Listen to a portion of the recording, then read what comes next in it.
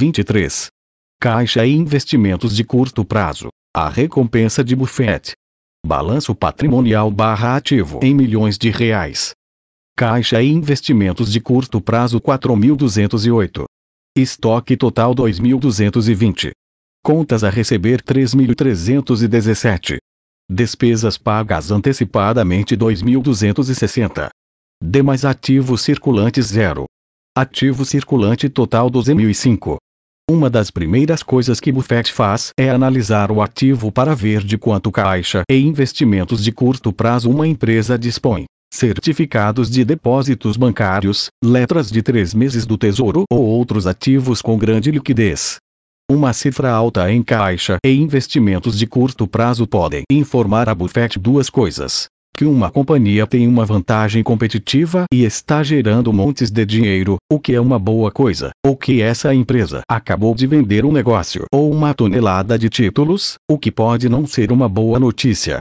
Uma quantidade baixa ou a ausência de ativo disponível em geral significa que ela tem condições econômicas ruins ou medíocres. Para descobrir qual das duas opções é a válida, vamos analisar com um pouco mais de profundidade o ativo disponível. As empresas tradicionalmente guardam muito ativo disponível para respaldar suas operações. Considere um enorme talão de cheques.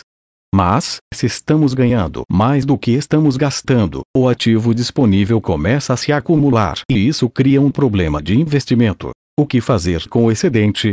Que problema interessante.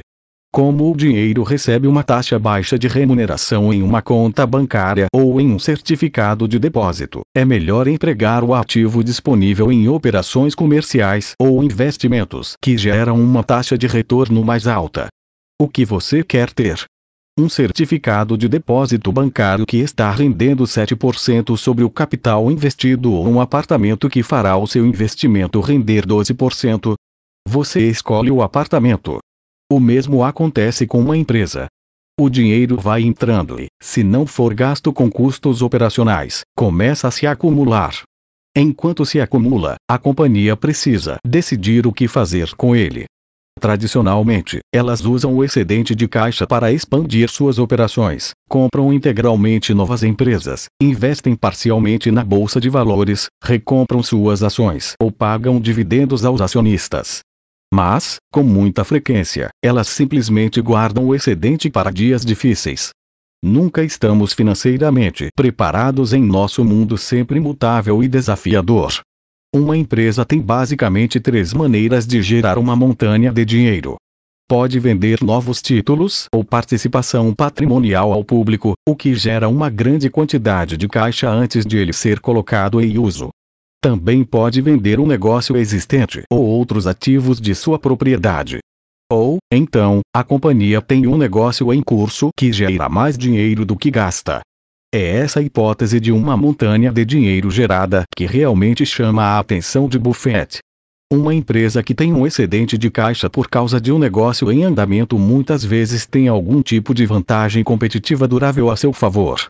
Ao analisar uma companhia que esteja passando por um problema de curto prazo, fazendo com que a Milk Wall Street reduza a cotação das suas ações, Buffett examina o ativo disponível ou os valores mobiliários negociáveis acumulados para saber se a empresa terá fôlego financeiro para superar a crise na qual se meteu. Então, eis a regra. Se virmos muito ativo disponível e valores mobiliários negociáveis e pouca, ou nenhuma, dívida, é bem provável que a companhia consiga superar os tempos difíceis. Mas, se está precisando muito de dinheiro e se percebe sentada sobre uma pilha de dívidas, a organização provavelmente é um navio que está afundando e que nem mesmo um mais habilidoso gestor poderá salvar. Um teste simples para verificar exatamente o que está gerando todo o ativo disponível é fazer análise dos balanços patrimoniais dos últimos sete anos. Isso revelará se o ativo disponível acumulado foi criado por um evento único, tal como a venda de novos títulos ou ações, ou a venda de um ativo ou de um negócio existente, ou se foi gerado por operações comerciais em curso. Se virmos um monte de dívidas, provavelmente não estaremos lidando com uma empresa excepcional. Mas, se virmos o monte de ativos disponíveis se acumulando, pouca ou nenhuma dívida, e nenhuma venda de ações ou ativos, e além disso notarmos também um histórico de lucro constante, provavelmente estaremos diante de uma companhia excelente com a vantagem competitiva durável que Buffett está procurando, o tipo de organização que nos tornará ricos no longo prazo. Para não esquecermos, ativo disponível é essencial em tempos difíceis. Portanto, se nós o tivermos e nossas concorrentes não, nós é que vamos dar as cartas. E dar as cartas é tão bom quanto dizem.